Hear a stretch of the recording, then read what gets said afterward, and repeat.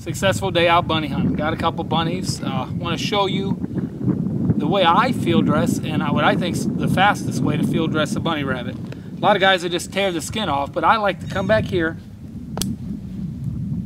right by the rear end, stick your knife in there and make just a little incision, okay? Then, I just like to pull this thing off like you're stripping it out. See how much easier that pulls off? Then you just pull this off like a sock. All the way down the front. And what I do is I pull it all the way to the legs. Then get under here, pull forward. Then all you have left is the head, and we'll show you how we take that off. The same way here, the tail, pop that out, grab underneath here and grab everything, and just strip it off like you're taking off a pair of socks. Okay? This was a male. Now, if you want to come in here, cut the head off.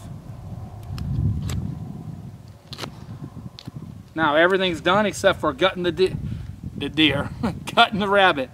I don't like to poke back here because this is where the stomach contents are at. Come up here right under the diaphragm, split the rib cage, okay? As you can see, you've come all the way up to the to get out the esophagus and everything, okay? Now come back through here and very carefully split all the way down. You don't want to pop those stomach contents open. And then grab, just like you would a deer, all the insides are out. Some people save these little hearts, I do.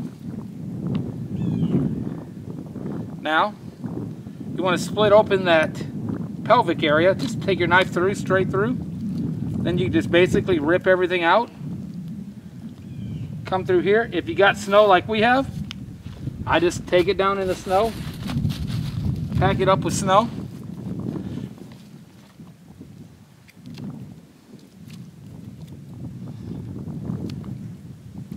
And there you have it. That's really all you need to field dress these.